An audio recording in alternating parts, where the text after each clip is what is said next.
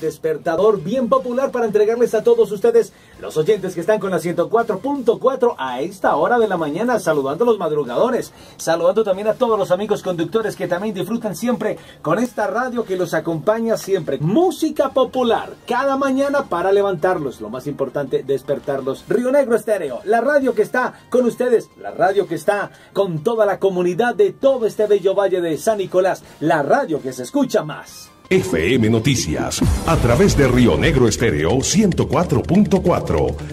Para hoy jueves 11 de febrero del año 2016. Las autoridades aprehendieron un menor de edad y capturaron a un hombre presuntos integrantes de banda delincuencial denominada El Laberinto en esta ciudad.